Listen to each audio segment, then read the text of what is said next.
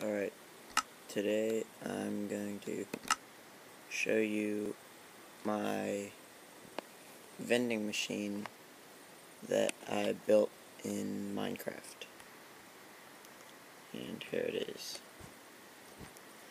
It's pretty simple. I can press a button and it will come out like that.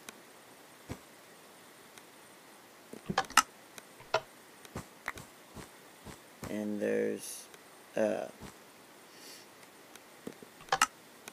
three and uh, six buttons on each side. So there's actually 12 different items to choose from.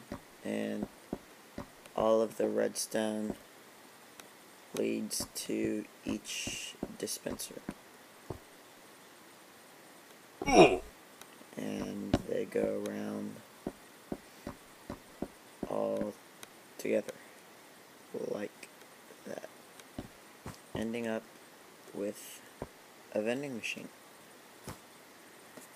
And this took me about I'd say an hour or an hour and a half to build. But it's just kind of a simple vending machine. It's not like the big ones that people build with the mine carts powering it I'm going to try to build one of those and I'll post a video on it when I do.